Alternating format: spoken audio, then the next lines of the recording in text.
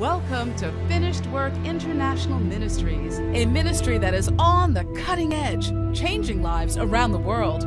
As you let God in today and apply the word, expect a divine encounter and supernatural transformation. It is impossible for you to be defeated when you have the revelation of the will of God. It is impossible for situations to subdue you when you walk in understanding of what God is saying to you. Let the finished work of Jesus determine what you pray. When God is your source, you don't look back. You keep looking forward. You keep trusting. God, I trust you. Here's Apostle Faithman Ogboada. Glory be to God. This is the day the Lord has made. We'll rejoice and be glad. You're welcome to this live church meeting broadcast, and today I'll be sharing with you on the spirit led decision. The spirit led decision. Decision made according to the instruction of the spirit.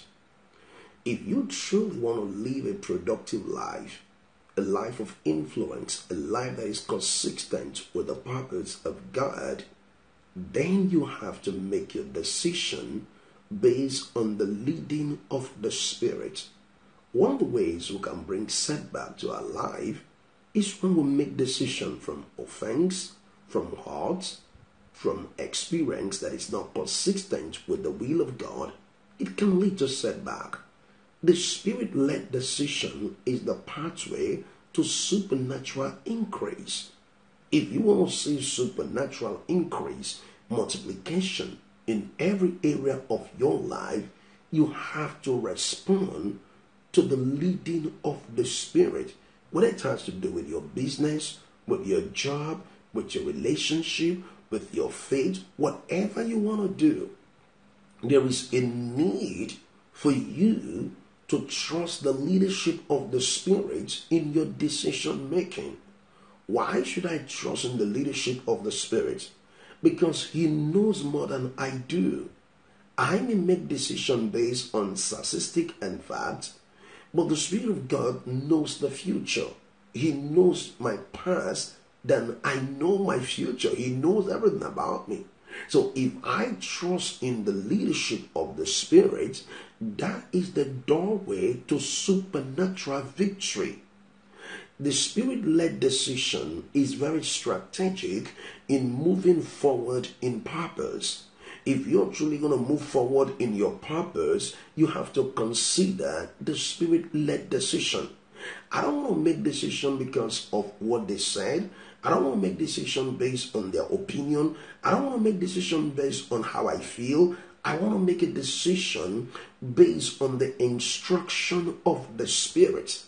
The New Testament believer is expected to make decision based on the leading of the Holy Spirit. If you make the decision without the leading of the Holy Spirit, you're opening door for crisis. And there are a lot of people today that the regret of their action, the regret of their decision, the regret of the things they did because of their inability to trust in the leadership of the Spirit. You know, the scripture established in Romans chapter 8, verse 14. I like us to look at that scripture in Romans chapter 8, verse 14. And it said something very important here in Romans 8:14, he said, For as many as are led by the Spirit of God, led by the Spirit of God. This is the key to unlocking a great life. This is what it takes. As many, for as many as are led by the Spirit of God, not led by money, not led by title, not led by opinion, not led by subjection, not led by uh, the flesh, as many that are led by the Spirit of God. Because the Spirit knows about your future. The Spirit knows what is going to show up in the next five years with that job, with that relationship, with that person. He knows what is going to happen. The Spirit is eternal. He he has he ha, he has uh, uh, the knowledge of the eternal program of God. The Spirit has a knowledge of the eternal program of God. So for that reason, we need to depend on His leadership. He knows the future. He will tell us how to navigate and move in the direction of the will of God. This is why developing intimacy with the Holy Spirit is important developing intimacy with the Holy Spirit as you will not be making decisions that will lead to tears. Yes. As you don't make the decision that will lead to a broken heart. A lot of us, our heart has been broken. We have lost relationship, businesses, finances, people in our lives that we thought they could have been there with us. But in the first place, God did not put them there. And maybe in the second place, God may have put them there, but because of our inability to be sensitive to the Holy Spirit, we are quick to be angry, we are quick to be frustrated, and then we start saying things or doing things that destroy the beauty of that relationship that God has given to us. There are people that God puts in your life as a gift of reward.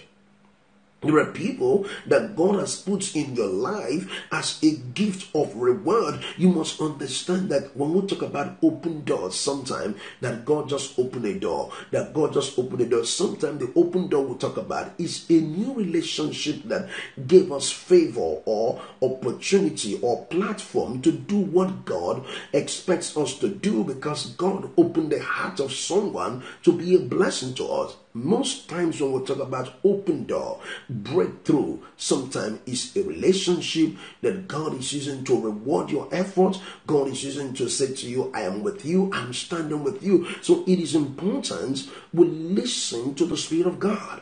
It's important. And someone may ask me a question How do I uh, make, uh, how do I how do I how do I get into spirit led decision? How do I make spirit led decision? How do I do that? Now I want to read some Romans chapter 8 and like us to read from verse 5. Romans chapter 8, verse 5. He said, For they that are after the flesh do mind the things of the flesh. For they that are after the flesh, they do mind the things of the flesh you see, the flesh is a way of life that is in opposition to God's ways of doing things. The flesh is a way of life that is in opposition to God's ways of doing things. Paul talked about walk in the spirit.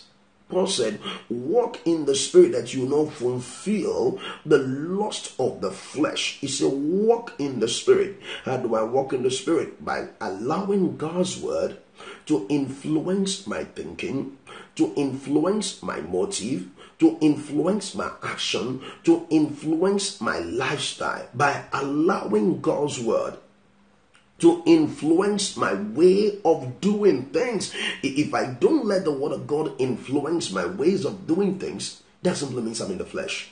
A man in the flesh will project the, the, the, the, things of the flesh beyond the things of the spirit. So Paul here was ministering and he said something, he said, For they that are after the flesh do mind the things of the flesh. You see, this is not the lifestyle God called us into. He never called us into the lifestyle of the flesh because the lifestyle of the flesh is not productive, the lifestyle of the flesh have the potential to ruin our walk with God. The lifestyle of the flesh can hinder the possibility of the greatness that God expects us to come into. So here he's saying, For they that after the flesh do mind the things of the flesh, but they that after the spirit, the things of the spirit. We could see there is a clear decision here. If you are after the things of the flesh, you can be sensitive to the leading of the spirit. I want to say that again. I said, if you're after the things of the flesh, you can't be sensitive. You won't be sensitive to the leadings of the spirit. Because a man in the flesh is only seeing how is you know he's he's seeing how it's gonna work out for him, how it's gonna happen for him, how he will feel good about it. But a man in the spirit is thinking the will of God.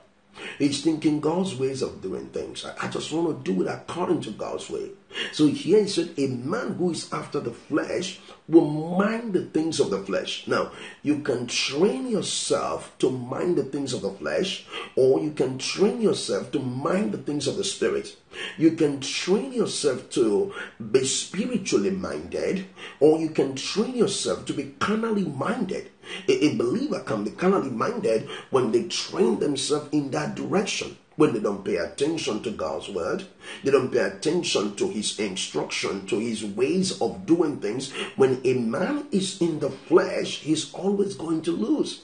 And this is where a lot of Christians have got into trouble because their decision was not spirit led decision.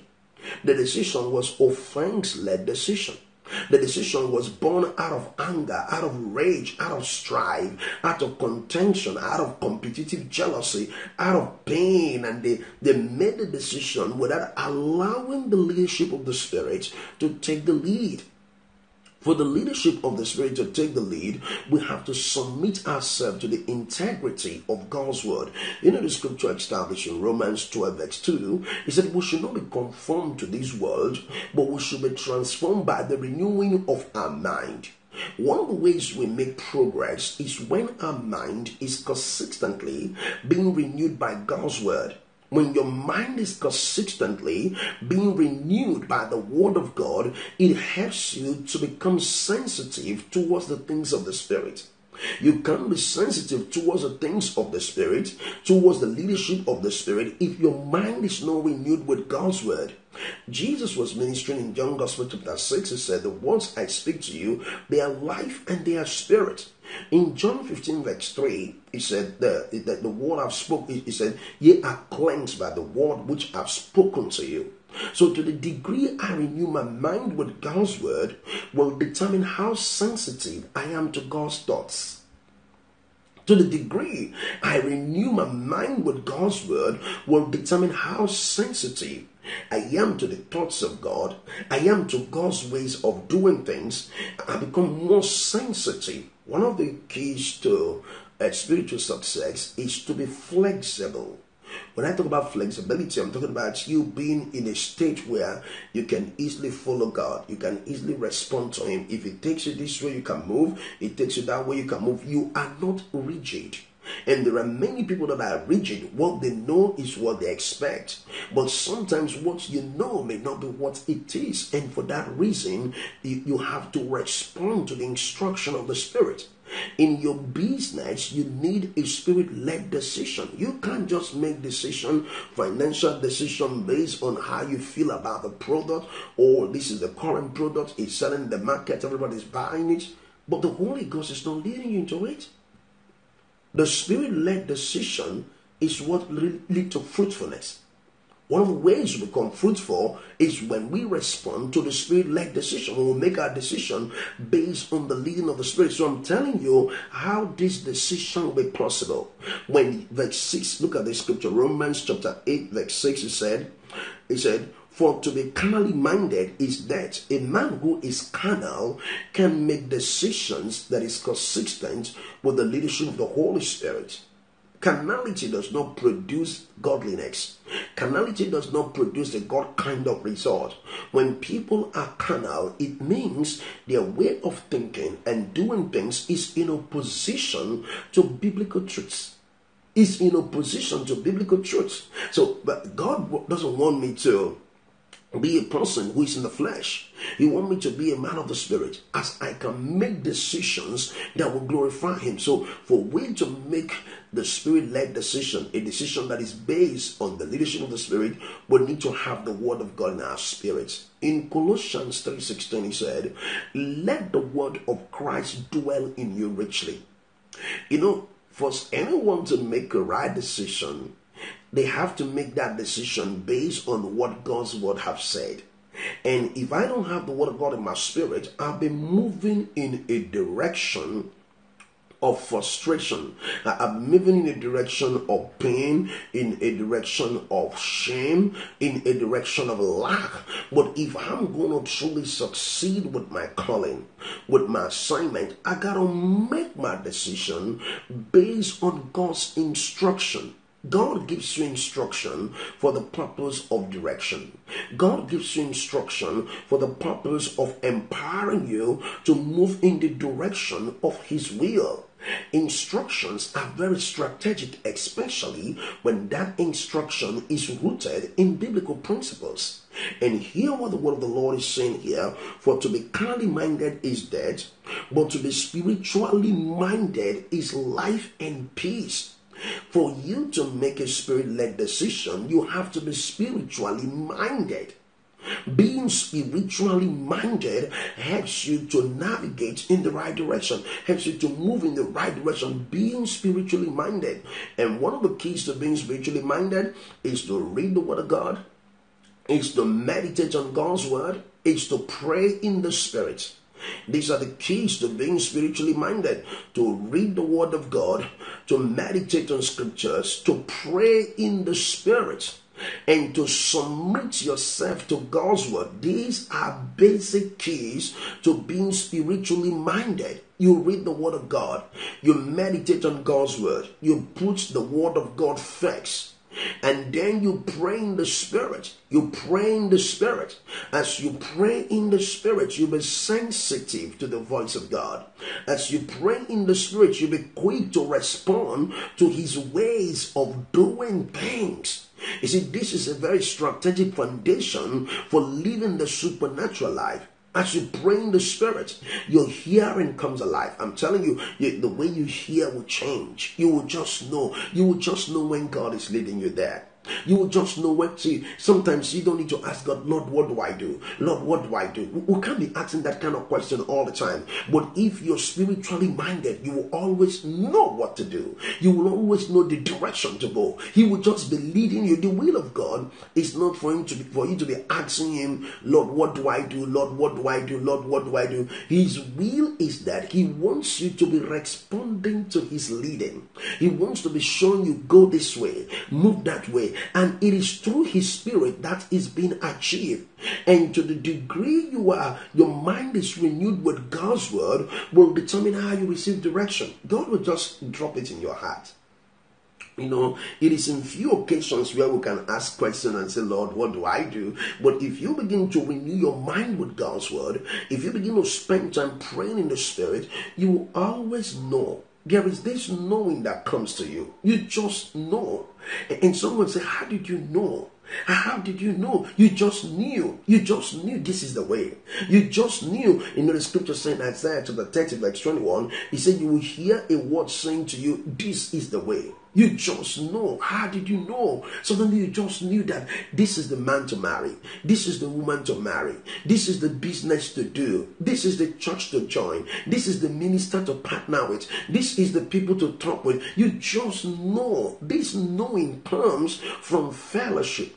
This knowing comes from yielding to the ways of the Spirit. You just know. You shouldn't be spending long time asking God, Lord, what do I do? Lord, what do I do? No, what you need to do is to begin to renew your mind and begin to pray in the Spirit. As you renew your mind and pray in the Spirit, you'll be sensitive. You will just know. It's like a river. It's flowing towards a direction and you're just following that river. You're just following. You're just going. And people will be wondering, how do you know when God has spoken? How did you know this? You just know.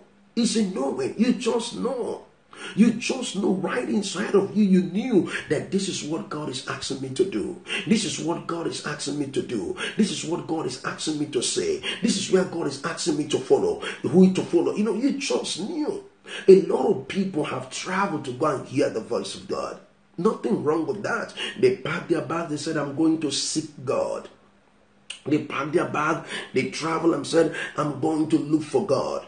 They travel to one place, I'm going, they're looking for God, but He's in them.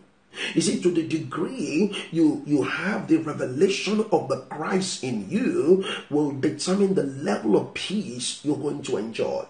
The level of peace you're going to enjoy is directly related to the revelation of the Christ in you. If I don't have the revelation that He's in me, I've been moving from here to here. I want to hear from God. So I need to travel to this convention. I want to hear from God. I need to travel for this seminar. No, no, that is not how God speaks to people. If you train yourself that way, you always be in trouble. If you think by traveling you will hear the voice of God, no. Create this mindset that God speaks to me wherever I find myself.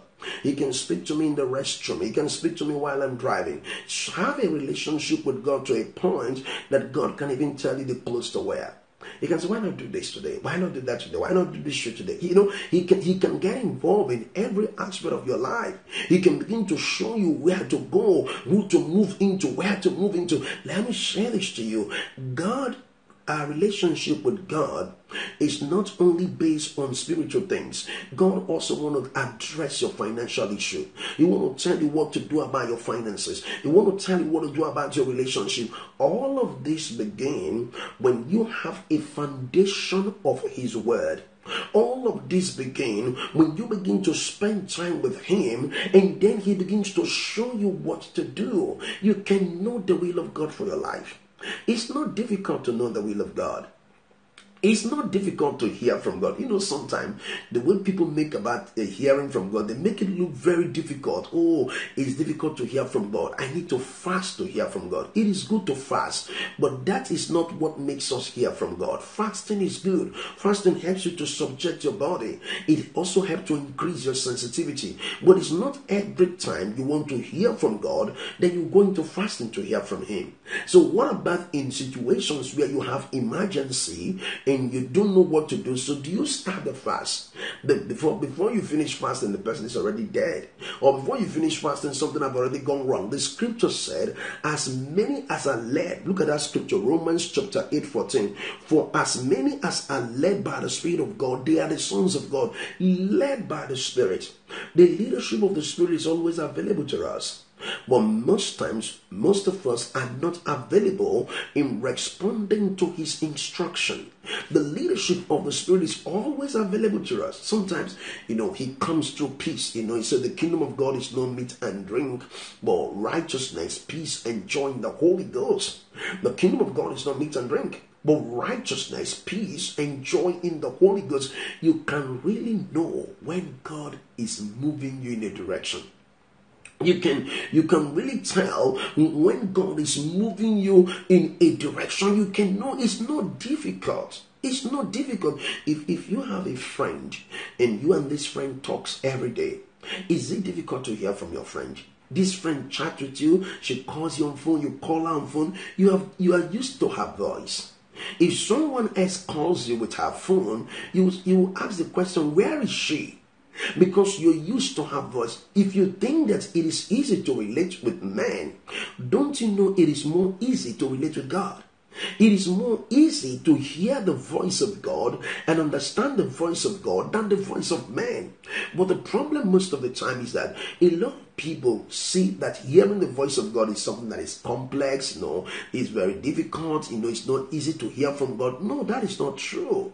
He said, My sheep will hear my voice and they will follow. And the voice of a stranger, they will not respond to. My sheep will hear my voice. So when someone said, I'm not hearing the voice of God, I'm not hearing the voice of God, I'm trying to know what the Lord will say to me. Listen, don't don't get involved. That is a spiritual scam a lot of people are being scammed spiritually by the enemy. My sheep will hear my voice. You know when something is truth. You see, the way your spirit was wired is that you should know when something is truth, when something is true. But that begins to happen as you fellowship with the word. As you fellowship with the word and pray in the spirit, you become sensitive. You're quick to know that this is what the Lord wants me to do. This is where the Lord wants me to go. This is who the Lord wants me to connect with. This is who the Lord wants me. God wants to lead you personally. He doesn't want to lead you through a preacher. He doesn't want to lead you through a prophet. He wants to lead. That was why the scripture, the scripture, the scripture said, For as many as are led by the Spirit of God, they are the sons of God. Led by the Spirit. You have the Holy Ghost in you. I said, You have the Holy Ghost in you. The day you got born again, that was the same day the Spirit of God have come to dwell in you. For before you became born again, it was the Spirit of God who convinced you to, to receive Jesus. No one can say that Jesus is Lord except by the help of the Holy Ghost. Nobody can say that. That Jesus is Lord. When you are born again, you have received the Holy Spirit. The Holy Spirit is in you. Nobody can say that Jesus is Lord except by the help of the Spirit of God. So you have the Spirit inside of you. And this Spirit you have inside of you, He has many areas in which He's going to work. Somebody can have the Holy Ghost in their life, the Holy Spirit in their life, and they don't speak in tongues because that is a different experience. To speak in tongue is a different experience. Just that someone is not praying in tongue doesn't mean they don't have the Holy Spirit in them if they are born again. Speaking in tongues is an experience. Have you received since you believe? Speaking in tongues is a different experience. But the day you got born again, the Holy Ghost have come to dwell in you. Nobody can help you like the Spirit of God. He will guide you into all truth. You cannot understand the Bible without the Holy Spirit. You cannot understand the Bible without the Holy Spirit. You cannot truly interpret the Bible without the Holy Spirit. You, you cannot even know the truth. You can't know the difference between deception and, and error and, uh, and truth without the Holy Spirit. This is why he said he will, for as many that are led by the Spirit of God, they are the sons of God, led by the Spirit. It is by the Spirit. It is the Holy Ghost that begins to show you what to do. So when you receive Jesus as your Lord and Savior, the Spirit of God have come to dwell in you. And the Spirit can also come upon you to do the things that God will have you to do. And we can desire the gift of praying in tongues. And the Holy Ghost can baptize us with that and we'll begin to pray in the Spirit. Praying in tongues is the prayer language. Praying in tongues is a prayer language. The Holy Spirit did not end with praying in tongues. I said the Holy Spirit didn't end in praying in tongue. The ministry of the Spirit did not end with tongue. Tongue is one of the gifts of the Spirit. It didn't end with tongue because some Christians think that the ministry of the Holy Ghost end with tongue. No, there is more to the Holy Spirit than praying in tongues. We pray in tongue to get ourselves ready for what He's going to do and how He's going to do it, how we're going to flow with Him. As we pray in the Spirit, we are opening doors in the realm of the Spirit to step into the flow, into what God wants us to experience. As you pray in tongues, this is why I encourage you to pray in the Spirit. As you pray in the Spirit, there are certain doors that are open, and you be sensitive to know the right door to know the right door, to flow in the right door, to connect to the right door. It is by the Spirit.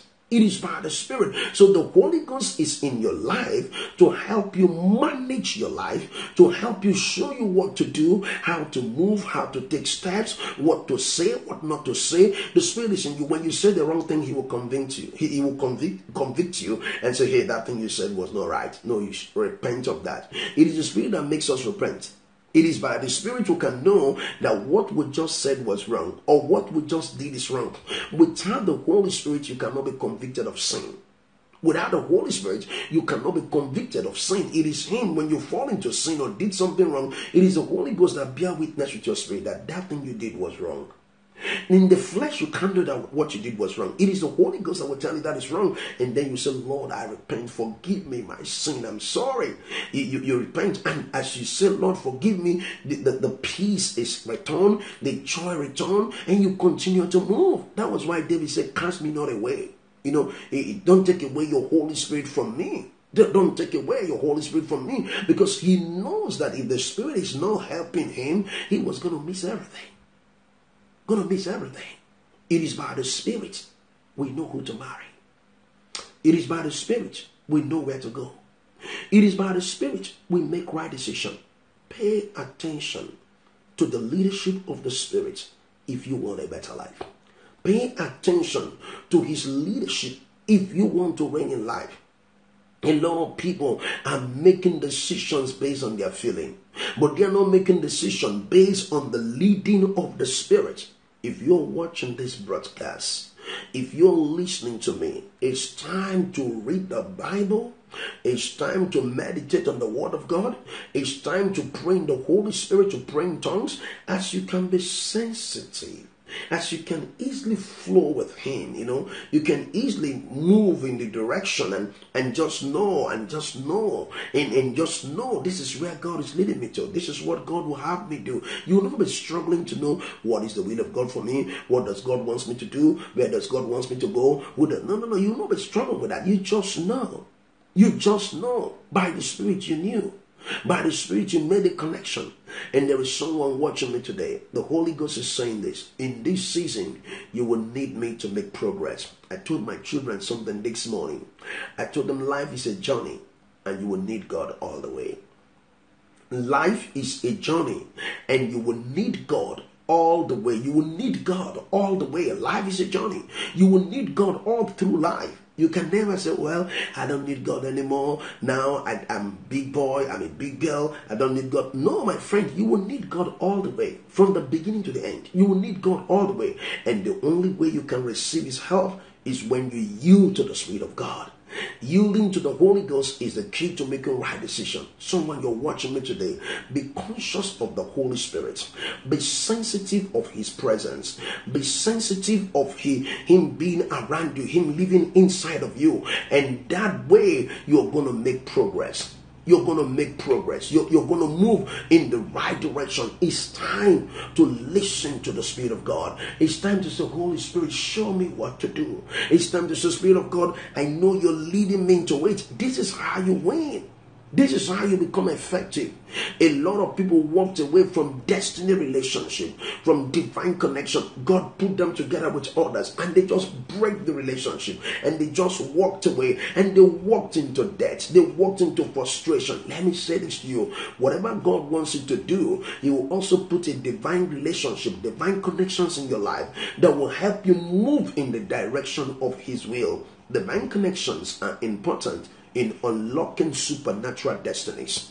I said divine connection is important in unlocking supernatural destinies. You can't truly unlock a supernatural destiny without divine connection. That is why the Bible talks about that the foundation is built by the apostles and the prophets. You know, the apostles and the prophets are up there to teach, to equip, to empower God's people as they can flow in the things of the Spirit, as they can as they can mature and come into the will of the Father and flow with God you can hear the voice of God. It's not difficult to know the voice of God. It's not difficult to hear from God. It's not difficult to do the will of God. It's not difficult to walk by faith. It's not difficult to reign in life. You can hear the voice of God. You can submit to the leadership of the Spirit. You can say, Lord, thank you for showing me what to do. Lord, thank you for helping me to know what to do. By the Spirit, we make decision by the Spirit we become productive.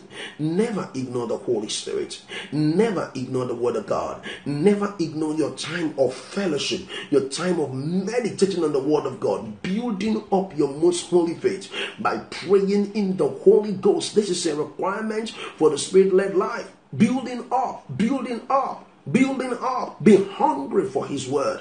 Be hungry for His presence. Be hungry for His will. Be hungry for His ways of doing things. Be hungry for God. A lot of people are losing their hunger for God, their drive for the things of the Spirit, their passion for God. This hunger, hunger to live according to His word, hunger to put Jesus first. He said, Godliness with contentment is a great game. You know, a lot of people today don't talk about godliness, they don't talk about a lifestyle of holiness, how to how to conduct yourself, how to live your life. The grace of God came that we will live the God life.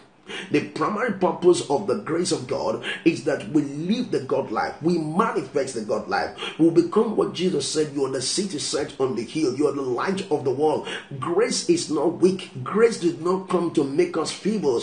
Grace came to make us strong. Grace came to help us to live the God life, to, to reflect Jesus in our conversation, our thinking, in our action, in the things we do. Grace is not weak.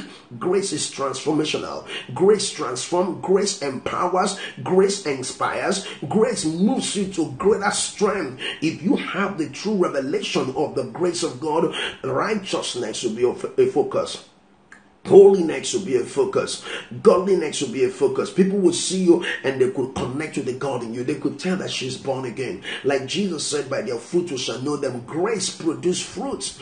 Grace will produce the fruits of righteousness, the fruit of holiness. There's a lifestyle when you're graceful, when you're grace minded.